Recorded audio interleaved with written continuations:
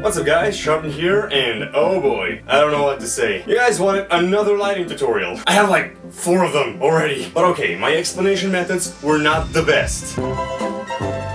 Went all college lecture on ya. So I'm gonna try to fix it today with the general lighting tutorial. I know you guys voted for environmental lighting, but let's break this down once and for all. I'm gonna explain lighting in general without the formulas and stuff, and also give you some examples such as environmental lighting, ambient lighting, and basically some examples where you would use that in practice. I'm gonna try to give you as much knowledge and complicate as less as possible. So if you like the idea, drop a like on the video and hit the bell because I'm struggling with this. I've made four of these already. By the way, before I start, I have a new background here, wooden house office thing. If you guys like it, let me know in the poll, because I'm thinking about keeping it. I don't want to be constantly making new backgrounds all the time, so let me know if you like it so I can have a default and keep it throughout my tutorials. But yes, I've taken a lot of your time already. Let's begin the lighting tutorial. And here we are, using my mountain schematic once again. So I have this block here with the default lighting. You guys all know this, right? You can tell it's ugly. Increase the sunlight strength, makes it look a bit better. But then again, it's not it. So what I want to do here, and it will be useful, turn the sunlight completely off. Now I have this. Okay, we obviously need a light source for this, so let's add a spotlight. Some of you guys are confused when to use spotlights, when to use point lights. There's no difference between them except point lights emit light in all direction and spotlights only in one direction. I'm using spotlights because they consume less RAM. If you were to use point lights, the computer needs to generate all the light behind it, which you don't even need. So I use spotlights most of my time. Unless the light source is in the center of the image, then you need a point light. Let's position this spotlight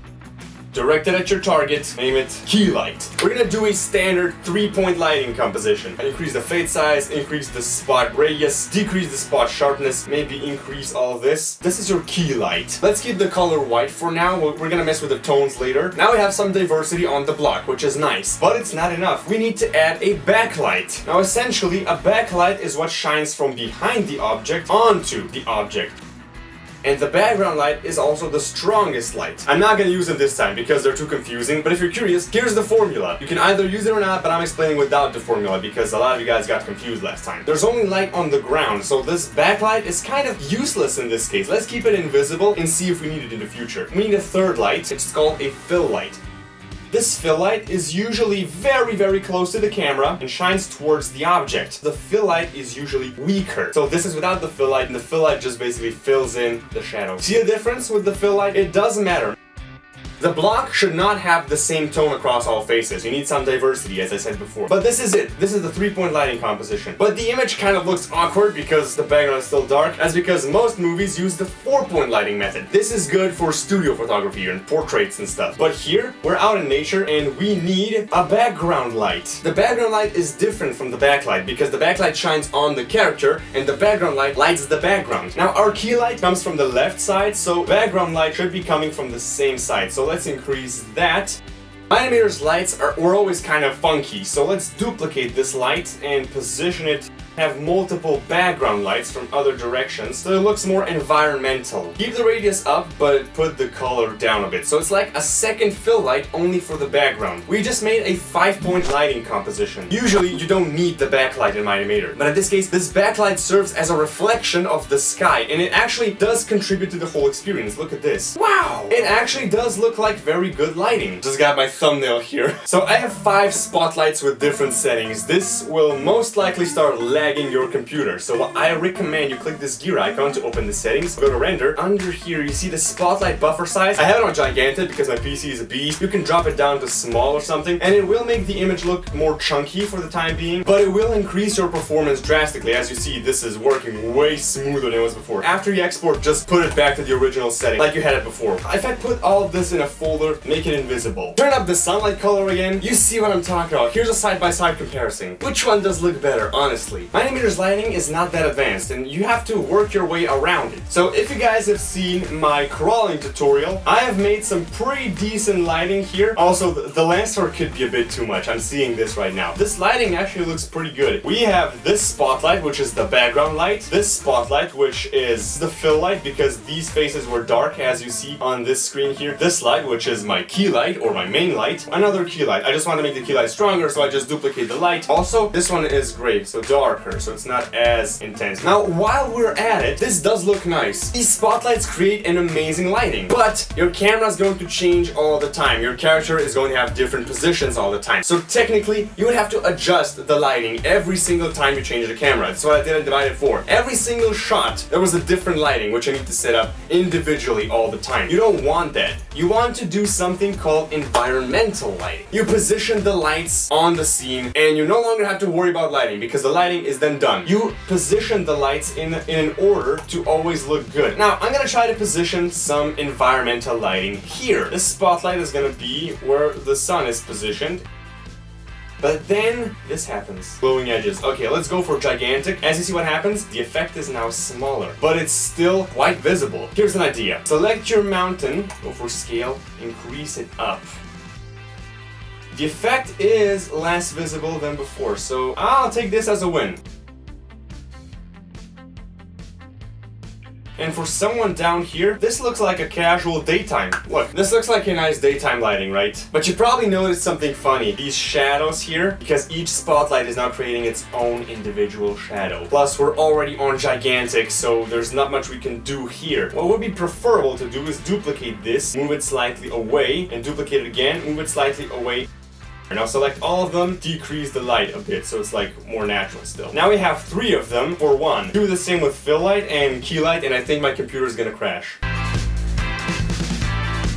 So I put my spotlight buffer size to small so I can work with this, but it looks like this at the final cut. Decrease the color until it still remains as the key light, like this. And I'm getting really laggy. My PC is a beast, so I don't think you're gonna be able to use this right. Now, of course, the lighting looks very good, but we are once again experiencing the glowing edges, as you see here. What you could do is bring the spotlights closer, have smaller values, and that will fix it. Or help yourself with the sun. So if I delete this whole lighting thing, I'm gonna help myself with the sun in this case. So reset. This does not look too bad if we come to think of what we had before. So I want to add a spotlight only to serve as a fill light. So now the sun is going to be my key light and this is diffusing your shadows. Small touch, but it's very important. It's a very important touch. Also sunlight strength could be brought up so we have the better effect. It looks rounded and realistic now. Sometimes it would be nice to have a backlight as well so if you take a look at this scenery, this looks like some pretty solid lighting. If I turn these off, you instantly see the difference. All it took was two simple lights and it already looks that much better. Let's take a look at the night settings, how you do in night sky. Do not, my dear friend, do not do this, ever. Don't do it, it's ugly. I forbid you doing that. Instead, add the background yourself. I'm gonna browse for it cold night. And now, what you want to do with the lighting, go to background, sunlight color, like a bright desaturated indigo blue color.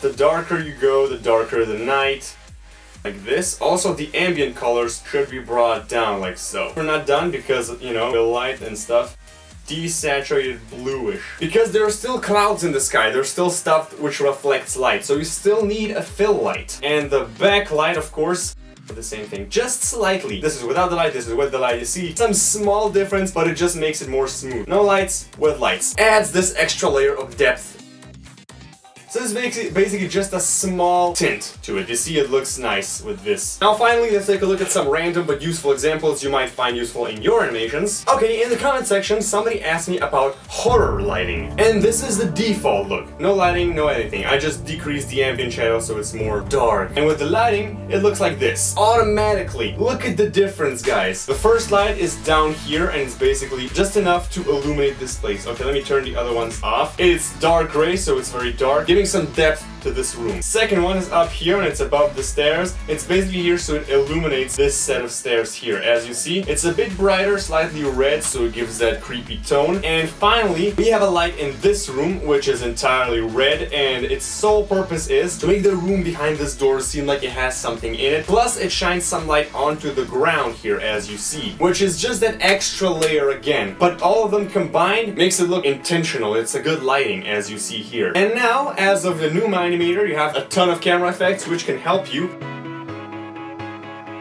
fringe, definitely need it. If you're going to use fringe, use it minimally. The scenery here is very dark, so if I just zoom in here, you see you can barely see the fringe as it is. So we're not gonna mess with the settings, but I usually keep my fringe at like 6% or so. That's how low of fringe you actually need in your animation. It's a horror lighting, so let's go for contrast. Saturation could be dropped down to 80 or so, so it's more blank. And color burn could be a bit red-ish. Then of course, the vignette. Let's go for settings and down in render, camera effects. Tick it off. This is without the camera effects. This is with the camera effects. You see what a greater effect you can get with the camera by itself, as well as with the lighting. So this was horror lighting. Let's take a look at something else. Is this shaders? No, but it does look pretty cool. This is a nether lighting, which I've done the same principle. Basically, let me explain. This is the world, and this is an inverted cube, which represents the walls of this. It's basically just the outline of the map. Then we have the custom fog color being the same color as the cube, being present enough to hide the edges. In here, here we have another copy of the world, which is using a texture pack to only display glowing parts. I'll put a link in the description. I made the texture pack myself, by the way, for you to have. And it has brightness 100%. These glowing blocks are not affected by fog, so you can still see the lava through all the fog and stuff. That's important. One spotlight for the glowstone, another for the fire, another for the lava here, another one down there for those two lava streams. It would be preferable to layer the light levels down like I showed you once before. Add multiple lights with the radius being smaller and smaller and the colors being brighter and brighter. It adds layers to it. Now I think the only thing I could add here is some camera effects. Lens dirt, okay, if you want to, let's go for a texture. Bras, radius all the way up, intensity all the way up, power all the way down so you can see where the effect is. Alright, let's go for the intensity slightly drop saturation of 90 and increase the vibrance 30% or so. This, I like that. Depending on what kind of nether you want. So this is very aggressive and dark. This is mostly like burning bright. Oh yeah, this is also going in the thumbnail, definitely. Alright, now you see how these things work. You can even try to use some lens flares or glow textures. Hold on, I'm gonna apply that just because I can. Add a new surface, browse for texture, and I'm gonna select this specular texture, which is nothing more than a simple round gradient. I'll put the link in the description for that as well. I've made that for you.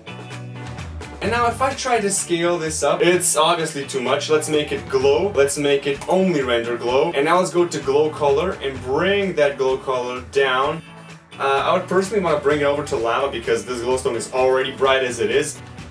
Oh yeah. Glow color, now let's go for slightly red-ish, orange-ish like this.